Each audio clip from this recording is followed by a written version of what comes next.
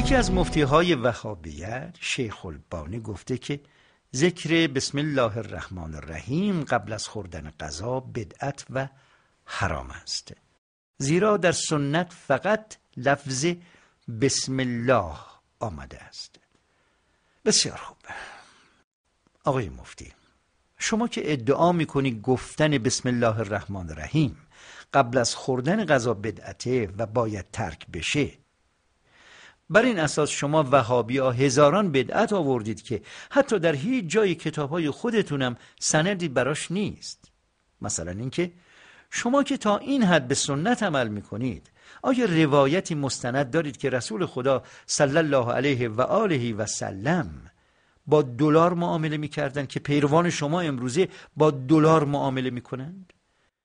شما که حتی از روایات و عبارات چاپ شده در کتابهای خودتونم بی اطلاعید میشه بگید تا به حال منبع علمی شما برای صدور فتوا چه بوده است؟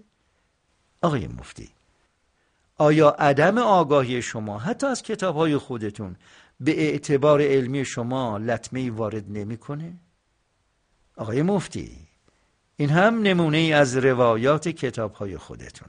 البته ما با ذکر نام کتاب و جلد و صفحه و نام معلف و سال چاپ و نام انتشارات و خلاصه با مشخصات کامل اینجا آوردیم که اگه خواستید لاقل برای یه مرتبه هم که شده قبل از صدور فتوا به روایات کتب خودتون نگاهی بیندازید به راحتی بتونید این کتاب ها رو تهیه کنید. نمی‌دونم این روایات با مصادر کتب اهل تسنن کفایت می‌کنه یا نه. آقای مفتی امیدوارم از این روایاتی که در کتب خودتون ذکر شده بتونی استفاده کنی. البته مصادر زیادی در کتب اهل تسنن برای این مطلب وجود داره ولی ما به همین مقدار بسنده می‌کنیم. آقای مفتی حالا دیدیم مطلبی رو بدعت دونستی که حتی مصادرش در کتب خودتون هست؟ نمی‌دونم با این تناقضات چه کنیم. آقای مفتی شما هم مثل سایر وهابیون عمل به هر آنچه در روایات نیامده باشد را بدعت می‌دانید. از طرفی هم فتوا صادر می کنید که گفتن بسم الله الرحمن الرحیم قبل از خوردن غذا بدعته چون روایتی برای آن موجود نیست. پس این مصادری که از کتب خودتون در دست دست را چه بکنیم؟ اصول ادبیات عرب را چه کنیم؟ شما که مفتی هستی حتما با این اصول آشنایی داری بله؟ حتما می‌دونی که در این روایت هیچ گونه حسری وجود نداره که مستلزم توقف بر اون باشه.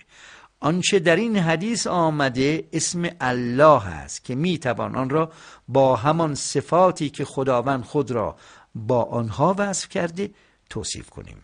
چون هیچ حسری قرار داده نشده و بنابراین آنچه گفته شده این اضافه از باب اضافه استحسانی است. خدایا ای خدای مهربان تو را سپاس می‌گوییم که ما را از بزرگترین نعمت یعنی نعمت ولایت فاروق اعظم امیر المؤمنین علیه السلام برخوردار نمودی. یا علی مدد.